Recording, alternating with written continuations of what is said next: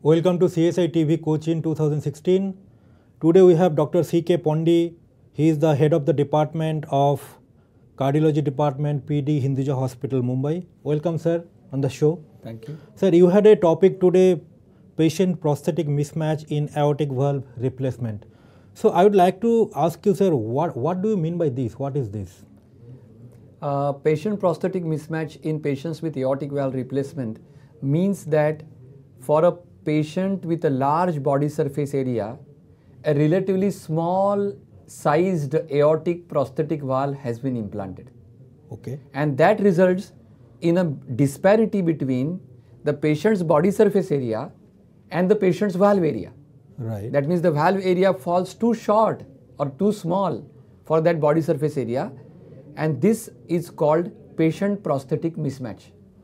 So, sir, how it happens and why it happens? Yeah, uh, that's a good question. Uh, normally, a patient, we are, normally believe and assume that a patient who has got a larger body surface area will also have a larger left ventricular outflow tract diameter. Okay.